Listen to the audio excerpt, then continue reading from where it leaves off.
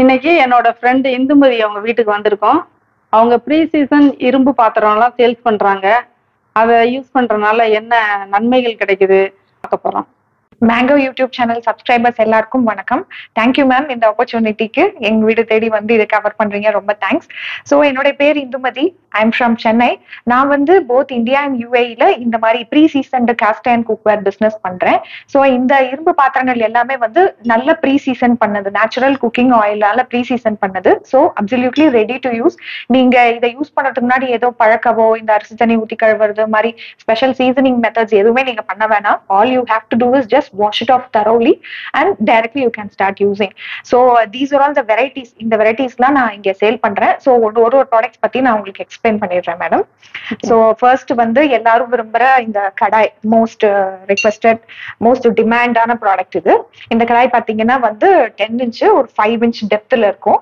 இங்க வந்து நம்ம இந்தியா மாதிரி ஸ்டவ்ல வந்து நம்ம அங்க ரவுண்ட் பாட்டம்லாம் சப்போர்ட் பண்ணும் மேடம் ஆனா. துபாயில அது கிடையாது. எல்லாமே கொஞ்சம் ஃபிளாட் பாட்டமா இருந்ததான் சப்போர்ட் பண்ணும்.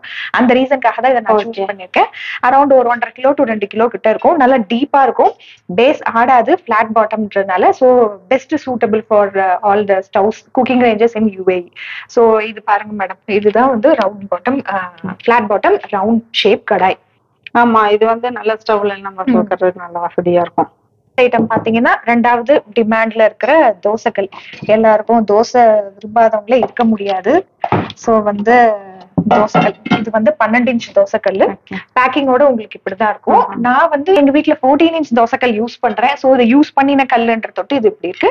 டுவெல் இன்ச்ல உங்களுக்கு ரெண்டு ஹேண்டில் வரும். 14ல அது வச்சா கல்லு ரொம்ப பெருசாயிடும்ன்ற தொட்டு அதை நாங்க வைக்கிறது கிடையாது. ஸோ இது இப்படிதான் இருக்கும். உங்க 14 இன்ச் மேடம் கையில வச்சிருக்காங்களே வந்து இத நம்ம பழக்கலாம் வேண்டாம். இது நீங்க பழக்கவே வேண்டாம். ஆ. தோசைக்கல்லு நீங்க இதை வாங்கின உடனே ஜஸ்ட் நல்லா கிளீனா வாஷ் பண்ணிருங்க. ஃபர்ஸ்ட் தோசை எப்பவுமே வராது. கொஞ்சம் ஒட்டும். சோ அதுக்கு நீங்க என்ன பண்ணணும்னா ஸ்டவ்ல கொஞ்சம் வச்சுட்டு ஒரு டூ டிராப்ஸ் ஆஃப் ஆயில் ஊட்டிட்டு அந்த ஆயில் நல்லா ஸ்ப்ரெட் பண்ணிருங்க. அது அப்சர்வ் ஆயிடும். அப்புறம் ஒரு ஃபைவ் செகண்ட்ஸ் கழிச்சு திரும்பவும் ஆயில் ஊத்தி ஆனியன் வச்சு ஸ்லைஸ் வச்சு நல்லா தேய்ச்சிருங்க. ஆனியனும் ஆயிலும் தாங்க பெஸ்ட் மேஜிக். ஃபார் கேஸ்ட் பழக்கிறதுக்கு அந்த ஆனியன் வச்சு தேய்ச்சிட்டு நீங்க ஃபர்ஸ்ட் தோசை ஊத்தும் போது வந்துடும் அண்ட் தோசை நீங்க ஊத்தி முடிச்சிட்டோன்னா ரெகுலரா கிளீன் பண்ண வேண்டாம். தோசைக்கல் மட்டும் கழுவக்கூடாது. அடிக்கடி கழுவக்கூடாது. ஜஸ்ட் ஒரு டிஷ்யூ பேப்பர் வச்சு தொடச்சிட்டு நம்ம எடுத்து வச்சிடலாம். ஒரு மந்த்லி ஒன்ஸ் இல்ல டூ மந்த்ஸ் ஒன்ஸ் கழுவுனாலே போதும். தேர்ட் ப்ராடக்ட் வந்து இந்த டச் அவன் மேம் இது வந்து த்ரீ லிட்டர் டச் அவன் சொல்றாங்க. ஸோ த்ரீ லிட்டர் கெப்பாசிட்டி இருக்கும். இந்த பிரியாணி கறி குழம்பு மீன் குழம்பு வெஜ் குருமா என்ன வேணாலும் அதுக்கு சூட்டபிளா இருக்கும். Best suit for biryani. ஏன்னா மூடியே உங்களுக்கு ஒரு முக்கால் கிலோ அரை கிலோ. கிட்ட இருக்கு. ஸோ பெர்ஃபெக்டா தம் ஆகும். அப்படியே பூ மாதிரி மலர்ந்து நம்ம அரிசி வேகும். குக்கர்ல சமைக்கிற மாதிரி குக்கர்ல சமைக்கிற எஃபெக்ட் இன்ஃபேக்ட் அதை விட பெட்டராவே இருக்கும். ஏன்னா குக்கர்ல அந்த தம் கொண்டு வரது ரொம்ப கஷ்டம். நம்ம தோசைகள் தூக்கி வைப்போம். அது மேல கங்கு வைக்கணும். ஹீட்டுக்காக இது வெயிட் வேண்டவே வேண்டாம். இது சின்னது. அதுலயே இது பெரிய சைஸ் இது ஃபைவ் லிட்டர் அதுலயே. இது நான் வீட்ல யூஸ் பண்ணிட்டு இருக்கிறது. சோ. நம்ம இப்படி எண்ணெய் தடவி இப்படி சீசன் பண்ணி வச்சா நல்லா இருக்கும். குக்கிங். பண்ணி முடிச்சு நல்லா கழுவிட்டு எண்ணெய் மட்டும் தடவி தடவி வைக்கணும். ஒரே ஒரு விஷயம்னா கேஸ்டைன் எதுலயுமே நீங்க கழுவுனதுக்கு அப்புறம் சிங்கிள் டிராப் ஆஃப் மாய்ச்சர் கூட இருக்கக்கூடாது. இருக்கு. ஏன்னா இந்த இரும்பு துரு பிடிக்கிறதுக்கு அதுதான் முதல். எதிரி. சோ நம்ம ஒரு போட்டு தண்ணி இல்லாம நம்ம வாஷ் பண்ணிடணும். இதுவும் பாத்தீங்கன்னா இதுதான் என்கிட்ட இருக்கிறதுலே ஹெவியான ப்ராடக்ட் அரௌண்ட் ஃபைவ் கேஜிக்கு கிட்டயே வரும். Perfect for biryani. இது த்ரீ லிட்டர் இது ஃபைவ் லிட்டர் அவ்வளவுதான் வித்தியாசம். யார் வீட்லயும் இது இல்லாம இருக்காது தாளிப்பு கரண்டி சோ இதுதான் மேம் தாளிப்பு கரண்டி தாளிப்பு கரண்டி ரொம்ப நல்லா இருக்கு இது வந்து நம்ம அப்பளம் எல்லாம் பொரிக்கிறது கூட. இதுல வந்து பொரிக்கலாம் அப்புறம் வத்தல் இந்த. கலக்கி ஆம்லெட் ஏன்னா வந்து. நம்ம பாத்திரம்னா பெரிய பாத்திரம் வைக்கணும். எண்ணெய் நிறைய ஆகும் அப்ப எண்ணெய் வந்து நம்ம ஒரு தடவை யூஸ் பண்ணதை இன்னொரு தடவை யூஸ் பண்ணக்கூடாது. பெரிய பாத்திரமா இருந்தா நம்ம கழுவ செய்யணும் அது. அது. இன்னும் கொடுமை. அப்ப எண்ணெய் கொஞ்சமா வச்சிட்டோம் நம்ம வந்து நல்லா பொரிக்கலாம் நம்ம பெரிய பாத்திரமா. இருந்தா எண்ணெய் அதிகமாகும். அதை வந்து நம்ம அடுத்தது யூஸ் பண்ண முடியாது. அப்ப இது வந்து ஒரு மாதிரி அழகாவும் இருக்கு அளவான சைஸ்லயும் இருக்கு. எண்ணெய் வந்து இதுல அப்பளம் எல்லாம் பொரிச்சோம்னா கொஞ்சம் இதுல கூட நிறைய நம்ம யூஸ் பண்ணலாம். நல்ல டீப் ஃப்ரை ஆகும். அதே மாதிரி கரண்டி ஆம்லெட் எல்லாம் ரொம்ப கரெக்ட் அது இல்லாத ஹோட்டல்ஸே இல்ல கிடையாது. நான் வெஜிடேரியன்ஸே இல்ல. அப்புறம் இதோட இன்னும் ஸ்பெஷாலிட்டி பாத்தீங்கன்னா மத்த இரும்பு ஆஹ், தட்கா பேன்ஸ் எல்லாம் வந்து பேஸ் ஒழுங்கா இருக்காது. சாஞ்சிரும். ஆமா. இது பாத்தீங்கன்னா இது நீங்க வச்சா பேஸ் சாயவே சாயாது. எம்டியா இருக்கும் போதும் சரி நீங்க எண்ணெய் ஊத்தும் போதும் சரி. சோ அது இதுல ஒரு. ஸ்பெஷாலிட்டி இன்னொன்னு ஸ்பெஷாலிட்டி என்னன்னு பாத்தீங்கன்னா இந்த தாளிக்கிற கரண்டில உள்ள இந்த ஃபினிஷிங் கொண்டு வர்றது ரொம்ப ரொம்ப கஷ்டம். சோ என்னோட எல்லா ப்ராடக்ட்ஸ்லயும் அந்த fine finish machine smooth fine finish இருக்கும். ஏன்னா அந்த நான்ஸ்டிக் ஈக்குவலா அந்த ஃபினிஷ் அந்த ஃபீல் பண்ணும்போது குக் பண்ணும்போது ஃபீலிங்கை கொண்டு வரதுக்காக அந்த ஃபைன் ஃபினிஷ் நான் கொண்டு வந்திருக்கேன். இது எல்லா கேஸ்டைன் குக்கர்லயும் இது இருக்காது. கொண்டு வரது ரொம்ப கஷ்டம். அதனாலதான் நான் இதை சொல்ல விரும்புறேன். சோ தட்கா பேன்ல இருந்து எல்லாத்துலயுமே உங்களுக்கு அந்த ஃபைன் ஃபினிஷ் இருக்கும். ஆமா இது நான்ஸ்டிக் மாதிரியே தான் இருக்கு. சொன்னாதான் வந்து தெரியுது. இது இரும்பு பாத்திரம் அப்படின்ற மாதிரி தெரியுது.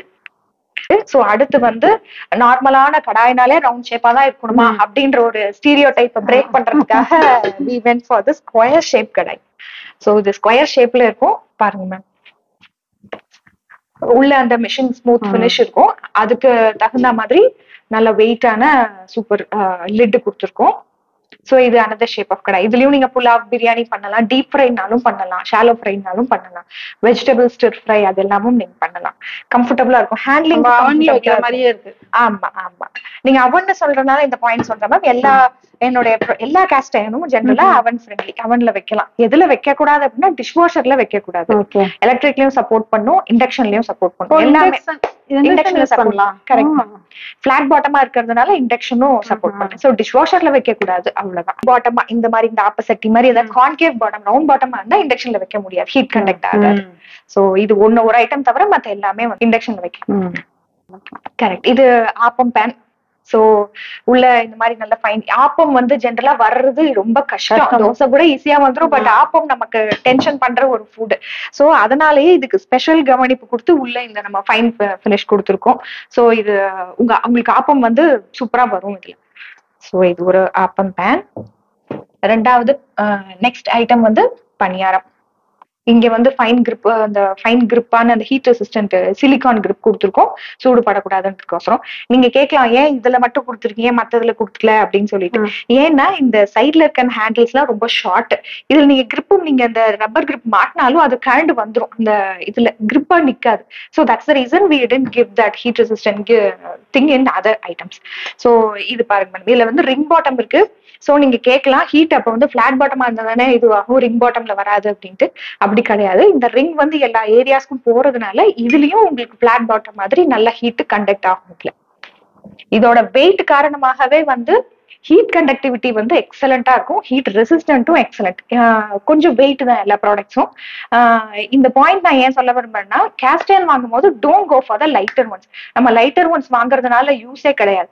லைட்டர் ஒன்ஸ் வாங்குறதுனால என்ன ப்ராப்ளம் அப்படின்னா for example light weight kadai நீங்க வாங்கினீங்கன்னா இங்க மட்டும் தீ போகிறது இல்லையா? சோ இங்க இருக்கிற ஐட்டம் மட்டும் டக்குன்னு பேர்ன் ஆயிடும் தீஞ்சு போயிடும். சுத்திலும் இருக்கிறது வந்து வேகாம போயிடும். தோசை தவா வந்து நீங்க தின்னா வாங்குனீங்கன்னு வைங்களேன். நடுவுல இருக்கிற தோசை மட்டும் சீக்கிரம் வந்து தீஞ்சிடும் சைட்ல மாவு அப்படியே இருக்கும். சோ தட்ஸ் த ரீசன் நம்ம தின்னான இரும்பு எதுவும் யூஸ் பண்ணக்கூடாது. வாங்கிடுறாங்க. அப்புறம் உணவு அதுல ஒழுங்கா வரலன்னா தூக்கி போட்டுடுறாங்க மேடம் அது இன்னும் ரொம்ப பெயின்ஃபுல் ஏன்னா கேஸ்ட் எல்லாம் தூக்கி போடுற விஷயம் கிடையாது. காலாகாலமா ஜெனரேஷன் வர வேண்டிய விஷயம். சோ அதனாலதான் இதை நான் உங்களுக்கு சொல்ல விரும்புறேன். இது வாங்கிட்டோம்னா எத்தனை காலத்துக்கு வேணா இருக்கும். Correct. நம்ம ஈஸியா இருக்கும்னு வாங்கிட்டு அடிக்கடி மாத்திட்டே இருக்கணும். கரெக்ட் கரெக்ட் இது காலாகாலமா ஜென்ரேஷன் ஜென்ரேஷனா யூஸ் பண்ண வேண்டாங்க சில பேர் கேக்குறாங்க நான் யூஸ் பண்ணுவேங்க. என் பையன் எப்படி என் பொண்ணு என் மருமகளை எப்படி யூஸ் பண்ணுவாங்க? இப்ப நம்ம வந்து நம்ம ஆன்சஸ்டரோட இது நம்ம திங்க் பண்ணி ரியலைஸ் பண்ணி இதெல்லாம் நம்ம யூஸ் பண்ணல. சோ நம்ம ஜென்ரேஷனும் கண்டிப்பா எல்லாம் பேக் பேசிக்ஸ் போகும். கண்டிப்பா யூஸ் பண்ணுவாங்க. இப்ப எல்லாம் வந்து. மண் பாத்திரத்துல சமைச்சா. நல்லது அப்படின்ற மாதிரி இரும்பு பாத்திரத்துலயும் இப்ப எல்லாமே சமைக்க கரெக்ட் கரெக்ட் சோ இரும்பு பாத்திரம் பாத்தீங்கன்னா மண் பாத்திரம் சோப் ஸ்டோனை விட ஈஸி அதுவும் ரொம்ப நல்லது. சோ நான் அதையும் தான் ரெக்கமெண்ட் பண்ணுவேன். பட் வந்து இது இன்னும் ஈஸி மண்ணுனா நீங்க ரொம்ப கேர்ஃபுல்லா ஹேண்டில் பண்ணணும். ஈச் அண்ட் எவ்ரி டைம் நீங்க அதுக்கு சீசனிங் கொடுக்கணும். மண்ணுன்றதுனால உள்ள சமைக்கிற பொருள் வந்து அங்கங்க போய் தங்க சான்ஸ் இருக்கு. ஸோ அதை மெனக்கெடுத்து கொஞ்சம் க்ளீன் பண்ணணும். அந்த பிரச்சனை இதுல இருக்காது. இதுல நீங்க பண்ண வேண்டிய ஒரே மெயின்டெனன்ஸ் வந்து ஈரம் இல்லாத make sure you don't have a even a single drop of moisture சுத்தமா தொடச்சு வச்சிடணும். ஒரு ஒரு ட்ராப் ஆஃப் ஆயில் விட்டு நல்லா கிரீஸ் பண்ணி வச்சிடணும். ஸோ தட் அந்த பேன் ரெஸ்ட் ஆகாம இருக்கணும். அவ்வளவுதான் இருக்கு மெயின்டெனன்ஸ் ஆக்டிவிட்டி வேற எதுவுமே கிடையாது. தோசை ஒழுங்கா வரலன்னா ஆனியன் டேக்கணும் அவ்வளவுதான். சோ அது தவிர இதுல மெயின்டெனன்ஸ்ன்ட்டு பெரிய விஷயம் எதுவுமே கிடையாது. ஐட்டம் வந்து அவன் ஸ்கில்லட் மேம் இது அவன் ஸ்கில்லட்னு சொல்றாங்க. இது ஒரு இதுல ஃபிஷ் ஃப்ரை பண்றது. எல்லாமே பண்ணலாம். லைக் த நார்மல் ஸ்கில்லெட் மாதிரி. ரெண்டு ஹேண்டில் கொடுத்துருக்காங்க. இதுக்கு வந்து லிட் வரும். இந்த லிட் நான் நாங்க போட்டு கொடுப்போம். ஓகே ஸோ இதுக்கு கரெக்டா சூட் ஆகிற மாதிரி லிட் வந்துரும் fish ஃப்ரைலாம் apt ma'am fish fry grill grill chicken எல்லாமே பண்ணலாம். வெஜிடபிள்ஸ் ஃப்ரை எல்லாமே பண்ணலாம். பொரிக்கலாம் வதக்கலாம் பொரியல் எல்லாருக்குமே இது ரொம்ப பெஸ்டா இருக்கும். ரெண்டு விதமான கிரில் பேன்ஸ் பார்க்க போறோம். ஸோ இது normal usual type of grill pan grill chicken barbecue எல்லாமே நீங்க பண்ணலாம். இதுக்கு நல்ல ஒரு கிரிப்பான லாங் ஹேண்டில் கொடுத்துருக்கோம் இதுல. ஸோ இது ஒரு வெரைட்டி எப்பவும் நம்ம பார்க்குற வெரைட்டி ரெண்டாவது வெரைட்டி வந்து கொஞ்சம் ஸ்பெஷல் எப்படின்னா இது ஒரு கிரில் பிளாட்டர் மாதிரி கம்ஸ் வித் ஸ்கியூஎஸ் இந்த கடையில அந்த பார்பிக்யூ நேஷன் போனா அந்த. ஸ்கியூஎஸ் தராங்கல்ல மேம். சோ வந்து இந்த பார்பிக்யூ சிக்கன் grill சிக்கன் எல்லாமே நீங்க இதுல பண்ணலாம். கோல் இதுல கொஞ்சமா கறி நிரப்பி அது மேல நம்ம மேரினேட்டட் சிக்கன் ஆர் வெஜிடபிள்ஸ் இதுல குத்தி நம்ம அப்படியே இதுல குக் பண்ணி சாப்பிடலாம். துபாய்ல எல்லாம் best for desert safari ma'am நல்லா வீட்ல இருந்து ஆமா. வீட்ல இருந்து நம்ம சிக்கனோ ஏதோ மேரினேட் பண்ணிட்டு அங்க போய் நம்ம உட்காந்து சாப்பிட்டோம்னா அது சூப்பர் பியூட்டிஃபுல் எக்ஸ்பீரியன்ஸா இருக்கும். சோ அதனால இது three in one tawa tawa fish fry grill அதுவும் பண்ணலாம் பார்பிக்யூ கபாப்ஸும் அதுவும். பண்ணலாம் ஸ்கொயர் இல்லாம சோ அதனாலதான் இது ஒரு ஸ்பெஷல் grill பேனு சொல்றேன் இரும்பு பாத்திரங்களை சூஸ் பண்ணுவேன்ட்டு பார்க்கலாம் என்னென்ன பெனிஃபிட்ஸ் இருக்கு முதல்ல இதுல குக் பண்ணி சாப்பிடறதுனாலன்னு ஃபர்ஸ்ட் பார்க்கலாம் நீங்க என்ன நினைக்கிறீங்க மேம் நம்ம ஏன் இரும்பு பாத்திரத்துல சமைச்சு சாப்பிடணும் இரும்பு பாத்திரத்துல சமைச்சா இரும்பு சத்து கிடைக்கும். எல்லாத்துக்கும் நல்லது ஹெல்தி ஃபேமிலியா இருக்கலாம் அப்படின்ற மாதிரி. ஏன்னா நம்ம முன்னோர்கள்லாம் ஃபர்ஸ்ட் இரும்பு மண் சட்டி கல் சட்டி அதுல தான் சமைச்சாங்க. அதுக்கப்புறம் வந்ததுதான் இந்த ஸ்டீலு நான்ஸ்டிக்கு எல்லாமே. சோ வந்து இப்போ வந்து பேசிக்கா மேடம் சொன்ன மாதிரி இதுல சமைச்சு சாப்பிடறதுனால நமக்கு நேச்சுரலாவே அந்த இரும்பு சத்து நம்ம உடம்புக்கு நல்லா இம்ப்ரூவ் ஆகும். ஃபுட்ல பேசிக்கா அந்த இரும்பு கலந்து அந்த சத்து நமக்கு வரும்போது அது ரொம்ப ரொம்ப ஹெல்ப்ஃபுல் ரெண்டாவது விஷயம் வந்து பெண்களுக்கு இது ரொம்ப நன்மை கொடுக்கும். ஏன்னா வந்து எஸ்பெஷலி டியூரிங் பிரெக்னன்சி விமனுக்கு வந்து ஹீமோகுளோபின் லெவல் வந்து டவுன் ஆகும். அது ரொம்ப நார்மல் அப்போ டாக்டர்ஸ் என்ன சொல்லுவாங்க? டேப்லெட்ஸ் கொடுப்பாங்க. ஆனா சில டாக்டர்ஸ் இப்போ இந்தியாலயும் சரி ஃபாரின்லயும் சரி அயன் குக்வேர்ல சமைச்சு சாப்பிடுங்கன்றதே ஸ்பெசிஃபிக்கா ரெக்கமெண்ட் பண்றாங்க. சோ அது இன்னொரு ஒரு பலன். இரும்புல சமைச்சு சாப்பிடுறதுல. ரெண்டாவது விஷயம் வந்து நான்ஸ்டிக் இந்த இப்போ வர இந்த டெஃப்லான் கோட்டட் நான்ஸ்டிக் குக்வேர்ல வந்து ஹார்ம்ஃபுல் கெமிக்கல்ஸ் நிறைய இருக்கு. ஹாஷ் கெமிக்கல்ஸ் என்னன்னா பிஎஃப்ஓஏ பிஎஃப்ஓஎஸ்ன்னு சொல்றாங்க. பெர்ஃப்ளூரோ ஆக்டனாயிக் ஆசிட் பெர்ஃப்ளோரோ ஆக்டேன் சல்போனேட் அப்படின்ற ரெண்டு ஒரு மோசமான கெமிக்கல்ஸ் இருக்கு. அந்த கெமிக்கல் என்ன பண்ணுதுன்னா நம்ம லிவர் டேமேஜ் பண்ணும் கிட்னி கேன்சரை உருவாக்கும். இப்போ வந்து யாரை பார்த்தாலும் ஒரு விதமான கேன்சர் இருக்கு. கேன்சர் என்னவோ சேட்லி டு சே ட்ரெண்டிங்கான டிசீஸ் ஆகி போச்சு. இதெல்லாம் அந்த காலத்துல இல்ல. இப்பதான் இருக்கு. ஏன்? நம்ம இதெல்லாம் நம்ம வாழ்க்கையில இருக்க அந்த வாழ்வியல் மாற்றங்கள்னால இந்த மாதிரி புது புது பேர் தெரியாத டிசீசஸ் எல்லாம் வருது. சோ நம்ம பழங்காலத்துல அதெல்லாம் கிடையவே கிடையாது. ஏன்னா மக்கள் இதுலதான் நம்ம அப்பா அம்மா பாட்டி தாத்தா கொள்ளுப்பாட்டி எல்லாம் சமைச்சு சாப்பிட்டுட்டு இருந்தாங்க. அவங்களுக்கு எல்லாம் அந்த பிரச்சனையும் கிடையாது. சர்வசாதாரணமா அவங்க எல்லாம் ninety six years hundred years எல்லாம் இருக்காங்க. இப்ப எல்லாருக்குமே அந்த லைஃப் ஸ்பேன்ன்றது சுருங்கி சுருங்கி போயிடுச்சு. என்ன காரணம்னு பாத்தீங்கன்னா ஃபாஸ்ட் ஃபுட் சீக்கிரம் சமைக்கிற உணவு டேஸ்டா இருக்கணும்தான் அந்த ஜங்க் ஃபுட் அப்புறம் டக்குன்னு சமைச்சு முடிக்கணும்ன்றதுக்காக அந்த நான்ஸ்டிக் குக்வேர் அந்த டக்குன்னு சமைச்சு முடிக்கணும். அந்த ஸ்டெயின் இருக்கக்கூடாது. நான்ஸ்டிக்கா வரணுன்றதுக்கோசரம் கம்பெனிஸ் ரொம்ப மோசமான ஹாஷ் கெமிக்கல்ஸ்லாம் யூஸ் பண்றாங்க which is high harmful for health இது வந்து ஃபர்ஸ்ட் ஃபர்ஸ்ட் அமெரிக்கால தான் கண்டுபிடிச்சாங்க. லைக் இந்த டெஃப்லான்ல வந்து இந்த பிஎஃப்ஓஏ பிஎஃப்ஓஎஸ்ன்ற கெமிக்கல் இருக்கு அப்படின்றது. அதனால அங்க வந்து நிறைய உமன்க்கு இன்ஃபர்டிலிட்டி இஷ்யூஸ் வந்தது. ஸோ அதுக்கப்புறம் அதை கண்டுபிடிச்சி இதை பேன் பண்ணாங்க. அண்ட் பேனுன்றதை uh, விட ஒரு ஒரு பாத்திரத்துல எவ்வளவு quantity of Teflon or PFOA PFOS இருக்கணுன்றதை limit பண்ணிட்டாங்க. இவ்வளவுதான் இருக்கணும். இதுதான் அலௌடு uh, அளவு குவான்டிட்டின்றத லிமிட் பண்ணிட்டாங்க அங்கெல்லாம். சோ அதை பெட்டர் நம்ம அவாய்ட் பண்றது நல்லது. அண்ட் வந்து டெஃப்லான் அந்த நான்ஸ்டிக் குக்வேர்ல மேல அந்த கோட்டிங் இருக்கு இல்லையா? அந்த டெஃப்லான் வந்து three hundred and ten degree Fahrenheit மேல நம்ம ஹீட் பண்ணும்போது Teflon tends to break down Teflon வந்து பிரேக் டவுன் ஆகும். த்ரீ டென் டிகிரி ஃபேரன் ஹீட் வரைக்கும் சேஃப் ஒன்னும் ஆகாது. டெஃப்லான் இஸ் குட் பட் அதுக்கு மேல போச்சுன்னா இட் வில் பிரேக் டவுன் ஃபுட்ல இறங்க ஆரம்பிக்கும். உறிஞ்சு உறிஞ்சு வந்துரும். ஆனா த்ரீ டென் டிகிரி எப்ப தாணுன்றது நமக்கெல்லாம் தெரியாது. நம்ம சமையலை பார்ப்போமா? இல்ல அதை பார்ப்போமா? டெம்பரேச்சர் பார்ப்போமா? ஆனா நான்ஸ்டிக்கே சொல்லுவாங்கல்ல அந்த போனதுக்கு அப்புறம் அந்த கோட்டிங் போனதுக்கு அப்புறம். சமைக்க கூடாது சமைக்க கூடாதுன்னு சொல்லுவாங்க. சோ அந்த த்ரீ டென் டிகிரில அது பிரேக் ஆகி ஃபுட்ல அது எல்லாம் கலந்துரும். சோ நம்ம வந்து இந்தியன் லைஃப் ஸ்டைல பாத்தீங்கன்னா மேடம் டீப் ஃப்ரை பண்றது ரொம்ப. நேரம் இது பண்ண அந்த முருகலா வரணுன்றதுக்கோசம். ரொம்ப நேரம் நம்ம எல்லாம் வதக்குவோம் ஆனா வெஸ்டர்ன் கல்ச்சர் அப்படி கிடையாது. டக்கு டக்குன்னு பண்ணி போயிட்டே இருப்பாங்க. அதனால அவங்களுக்கு மேபி டெஃப்லான் சூட் ஆகும். ஆனா நம்ம லைஃப் ஸ்டைலுக்கு நம்ம குக்கிங் ஸ்டைலுக்கு டெஃப்லான் சூட்டே ஆகாது. ஸோ அது ஒரு ப்ராப்ளம் த்ரீ டென் டிகிரிக்கு மேல போச்சுன்னா Teflon will start breaking down ஃபுட்ல அப்படியே கலக்கும். அண்ட் வந்து எல்லாரையும் மாதிரி நானும் ஒரு டெஃப்லான் கோட்டட் குக்வேர் பிராண்ட் சொல்ல விரும்பல. வெரி வெரி ஃபேமஸ் பிராண்ட் நம்ம கிச்சன்ல அந்த பிராண்ட் இல்லாம இருக்க சான்ஸே கிடையாது. ஸோ திஸ் வாஸ் தட் பாத்திரம். இவங்க அந்த இன்ஸ்ட்ரக்ஷன் மேனுவல்ல போட்ட மாதிரியே நான் உட்டன் ஸ்பேச்சுல தான் யூஸ் பண்ணேன். ஸ்டீல்லாம் யூஸ் பண்ணல. பட் யூ சி எப்படி உறிஞ்சு வந்திருக்குன்னு பாருங்க. இது என்னோட ஐட்டம் இதை பார்த்ததுல இருந்து நான் அப்படியே ஸ்டாப் பண்ணிட்டேன். Just for video purpose showing யாருக்கா காட்டுறதுக்காக நான் வச்சிருக்கேன். இங்க பாருங்க மேடம் நான் எங்க போனாலும் ஃப்ரெண்டு வீட்டுக்கு எல்லாம் போனா சமைப்போம் சமைப்பாங்க. எல்லாம் நம்ம போய் பாக்குவோம்ல அப்ப நான் சொல்லுவேன் இந்த மாதிரி இருந்தாலே ஃபர்ஸ்ட் யூஸ் பண்ணாதீங்க. ஆனா நிறைய பேருக்கு தெரியல இது வந்து எவ்வளவு பாதிப்பை உண்டு பண்ணும். அப்படின்றது தெரியாம இது நாசிக் போனாலும் ஏன்னா இவ்வளவு விலை கொடுத்து வாங்கி ம். வச்சு நம்ம சமைக்கிறதுக்கும். ஈஸியா வருதுன்றனால இது போனாலும் அதுக்கு பிறகு சமைக்கிறாங்க அது ரொம்ப தப்பு நம்ம காசு கொடுத்துருவோன்றதுக்கோசம் சில பேர் யூஸ். பண்றாங்க. ஸ்டாப் பண்ண மாட்டேங்கிறாங்க யூஸ் பண்றது பட் வெரி வெரி ஹார்ம்ஃபுல் இத்தனைக்கும் ஃபேமஸ் பிராண்ட் அதாவது சீப். குவாலிட்டி கிடையாது. ரொம்ப காஸ்ட்லி இந்த பிராண்ட் இல்லாத வீடே இருக்க முடியாது. அந்த பிராண்ட் தான் இது. சோ அதுக்கப்புறம் நான் அதை அப்படியே நான் நிறுத்திட்டேன். சோ அதனாலதான் நான் வந்து அந்த டெஃப்லான் கோட்டட் அந்த நான்ஸ்டிக் குக்வேர்ஸ் யூஸ் பண்ணாம இது யூஸ் பண்ணுங்க அப்படின்னு சொல்லி சொல்றது. எப்பவுமே நம்ம நல்ல விஷயத்தை நோக்கி போகும்போது அதுல கொஞ்சம் வேலை ஜாஸ்தி இருக்கும். கொஞ்சம் எக்ஸ்ட்ரா இருக்கும். ஒரு தூக்க. கனமாவோ இல்ல ஒரு பழக்கத்துக்கு ஒரு நீங்க ஒரு டூ மினிட்ஸ் எக்ஸ்ட்ரா ஸ்பெண்ட் பண்றதோ இருக்கும். ஏன்னா நல்ல விஷயங்கள் எல்லாமே கொஞ்சம் கசப்பா இருக்கும் கொஞ்சம் கஷ்டமா இருக்கும் பண்றதுக்கு. பட் அதை மீறி நம்ம பண்ணிட்டோம்னா நம்மளுக்கு மட்டும் இல்ல நம்ம ஜென்ரேஷனுக்கே அது பண்ற ஒரு நல்ல இது. ஏன்னா நம்மளை பார்த்து நம்ம குழந்தைங்க பழகுவாங்க. சோ அந்த மாதிரி விஷயம் இருக்கு. சோ அதனாலதான் நம்ம பேக் டு பேசிக்ஸ்னா இதெல்லாம் போகணும். சோ வந்து நீங்க கேட்கலாம் ஏன் அப்ப அயன் மட்டும் நீங்க இது பண்றீங்க? காப்பர் இருக்கு பித்தளை இருக்கு அதெல்லாம் இருக்கு அப்படின்னு சொல்லலாம். பட் குட் கொஸ்டின் ஆனா வந்து அதெல்லாம் ரொம்ப மெயின்டெனன்ஸ் கஷ்டம் மேம் ஒரு காப்பர் நீங்க பாத்திரம் எடுத்தாலோ அது ஈஸியா ஆக்சிடைஸ் ஆயிடும். அந்த ப்ளூ கலர் லேயர் ஃபார்ம் ஆகும். சோ அது வந்து நீங்க புளியை போட்டு தேய்க்கணும் இல்ல உப்பு வினிகர் எல்லாம் போட்டு தேய்க்கணும். நம்ம லைஃப் ஸ்டைலுக்கு அது பொருந்தவே பொருந்தாது. நம்ம ஸ்பீடா காலையில எழுந்து சமைக்கும் போது அதெல்லாம் நம்ம பண்ணிட்டு இருக்க முடியாது. அதனால அதெல்லாம் மெயின்டெனன்ஸ் ஆக்டிவிட்டி கொஞ்சம் ஜாஸ்தி but still very good for health கொஞ்சம் ஜாஸ்தின்றதால I did not prefer that so அதனாலதான் நான் வந்து இரும்பு சூஸ் பண்ணினது. பாத்திரம் எல்லாம் வாங்குறதுனா எப்படி வாங்குறது உங்கள்ட்ட?